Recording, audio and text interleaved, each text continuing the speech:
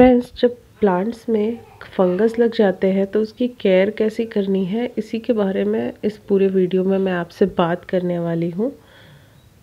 In plants में काफ़ी सारे फंगस लग चुके हैं और मैं इनके केयर करने के लिए और होम रेमेडीज़ कुछ बना सकूँ, वो मैं आपको दिखाऊँगी।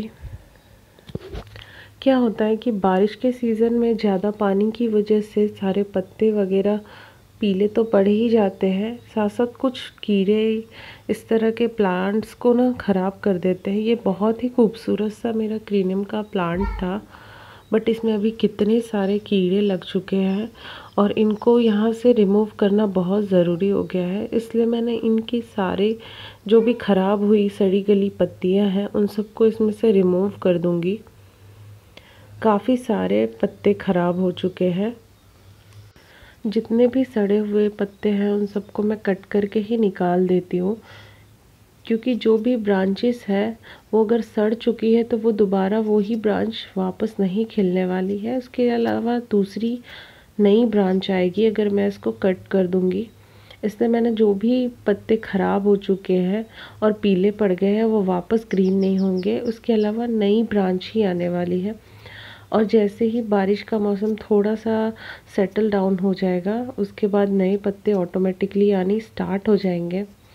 पर इसके अंदर जो अभी इतनी बुरी तरह से जो फंगस लगा है, पहले मुझे उसके लिए थोड़ा सा ध्यान देना पड़ेगा और उसके लिए मैंने एक होम सॉल्यूशन बनाया है, वो भी मैं आपके साथ शेयर करूँगी इस वीडियो में। सारे पत्तों को मैंने निकाल के हटा दिया है। अब ये होम सॉल्यूशन जो मैंने बनाया है, वो नीम का ऑयल एक छोटे से जार में मैंने नीम का ऑयल और साथ में डेटॉल हैंड वॉश को मिक्स करके एक चम्मच जितना डेटॉल हैंड वॉश को मैंने ऐड किया है और एक चम्मच जितनी नीम ऑयल इनको मिक्स करके मैं एक सॉल्यूशन बना के इनके ऊपर स्प्रे करने वाली हूँ। और जहाँ जहाँ कीड़े लगे हैं, वहाँ हर जगह पे स्प्रे करना है। इसको अगर आप किसी दूसरे प्लांट में भी अगर आपके कीड़े लग रहे हैं तो इसको आप अप्लाई करके देखिए, काफ़ी फ़ायदा होता है।